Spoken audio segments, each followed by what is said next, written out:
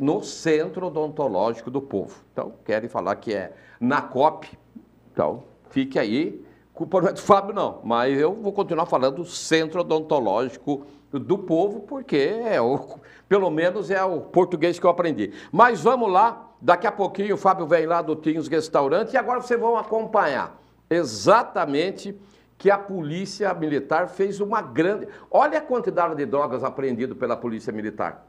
O nosso caso termina aqui.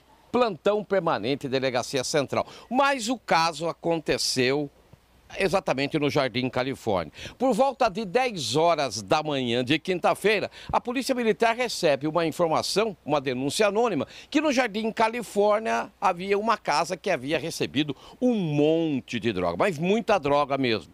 Os policiais foram e a informação é que numa, numa determinado terreno haviam várias casas. E foi numa dessas casas que a droga estaria. Bom, os policiais foram para o local e acabaram encontrando, olha só, 1.723 pinos de cocaína, 76 tabletes de maconha, 55 pedras de crack, 389, olha só, gente, aí de skunk, uma balança de precisão, 11 daqueles, né, vamos dizer, de, é, de chavadores de, de droga, sabe? Aquele que fica mexendo e tal. Pessoal que usa sabe o que eu estou falando. Eu não uso. Eu usava quando tinha é, fumo de corda que punha para fazer aquele negócio ali.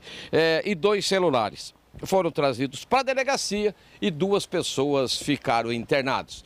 Com imagens da Polícia Militar e agora Nenê, Rubinho Queiroz, plantão permanente para o programa do Rubinho. Muito bem, então tá aí a grande quantidade de entorpecente, skunk, né? Que é a maconha potencializada, tetrahidrocannabinol mais ativa, dá o, entre aspas, chamado barato, eu não sei que barato que é esse que as pessoas buscam na droga. Esse barato sai caro, hein? Não é o barato que sai, é o único, é verdade, o único barato que sai caro, parece impressionante, né? Mas é verdade.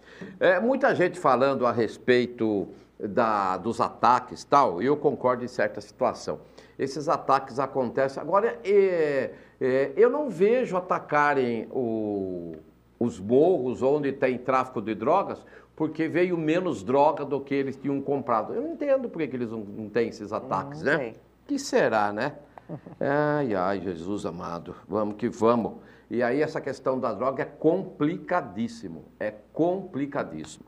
E nós estamos falando, foi no, no começo do final de semana, se a gente pode falar isso, né? Foi no começo do final de semana, essa quantidade de drogas é uma coisa, e olha, muita droga.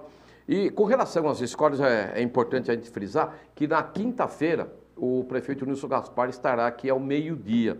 E houve uma movimentação por parte dos vereadores também para é, intensificar a instalação de câmeras de segurança nas escolas, botão de pânico. É, eu, não, eu ainda acho que deveria, acho, quem acha não sabe, mas pelo menos alguma coisa para tentar entender o que, que está acontecendo. É, eu acho que seria uma boa né? ideia é, é, um monitoramento das escolas. É, acho que seria o, o ideal, talvez. Eu não, não sei não, Alguma coisa tem que ser feito. É, mas não é simplesmente, a gente vai colocar, vamos pôr, tem, tem condições da guarda fazer, e a PM, né? É, fazer a entrada dos alunos, sim. Fazer a saída, sim. Mas o transcorrer vai ficar sempre um policial ali? É uma coisa para a gente discutir, mas nós temos que entender o que, que está acontecendo.